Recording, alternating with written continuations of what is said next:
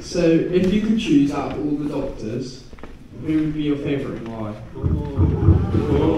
We can't ask that question. You can't ask this I, I'm picking uh, Jon Pertwee because Yes. he's my, he's my my Doctor Who. You know, we say that, don't we? If you're of the age, I adored him. I was mortified when he died in the program.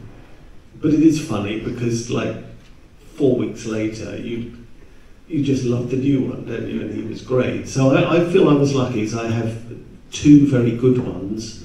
But really, Jon Pertwee, I just thought he was kind of kind of effort, effortlessly kind of charming and cool and um, and you know what the funny this go with me on this I think he's the only one who ever looks like he's properly working the control panel I don't know why he because he loves gadgets and cars and things he really looks like he's working a piece of machinery whereas there are some others won't mention names they just look like they're flicking switches about randomly and gurning at the camera or whatever and he really looks like he's seriously trying to take off or open a door or say taking it. I like him because he's quite serious and, and you know all, everything that's wonderful about him. He, he's just terrific for me. So that was an easy one.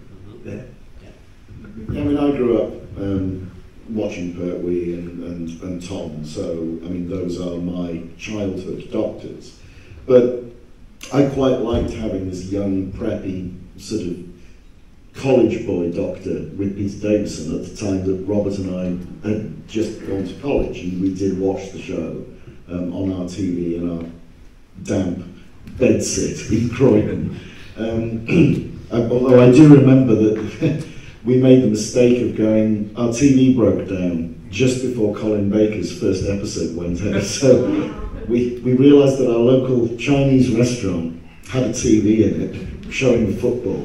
And we went down and said, if we buy dinner for the two of us, will you change the TV so we can watch the new episode of Doctor Who? And then had to make the entire restaurant sit through the Twin Dilemma Part 1. and we slunk out very embarrassed.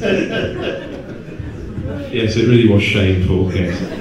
Um, I'd just say exactly what Stephen said. Really, um, Pertwee going into Baker and the initial horror of who is this strange man, and then two or three weeks later, it's like, yeah, he's the Doctor. That's absolutely fine. Yeah.